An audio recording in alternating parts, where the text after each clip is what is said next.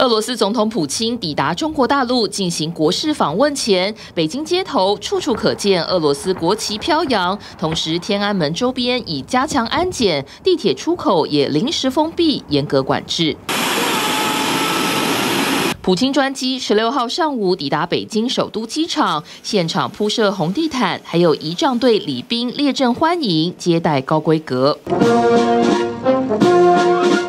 北京人民大会堂前举办盛大欢迎仪式，普京与大陆国家主席习近平一同校阅部队，随后进入人民大会堂闭门会谈。接下来，普京也将与习近平共同出席庆祝中俄建交七十五周年晚会，并与国务院总理李强讨论经贸文化合作。普京行前接受大陆官媒新华社采访时强调，中俄经贸快速发展，二零一九年双边贸易额一千一百亿美元。去去年暴增至两千两百七十八亿美元，而且两国之间的企业超过九成都以卢布结算，显见两边的关系坚定不可动摇。中俄互为新时代全面战略协作伙伴，两国关系持续健康稳定发展。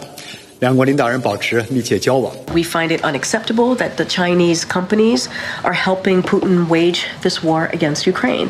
And if China purports to want good relations with Europe and other countries, it cannot continue to fuel the biggest threat to European security right now. 外界预料，普京此行将与习近平讨论俄乌战争，并深化能源经贸往来。 美国白宫最新回应表示，大陆企业帮助普京壮大军武，让人无法接受。普京访中后续效应有待观察。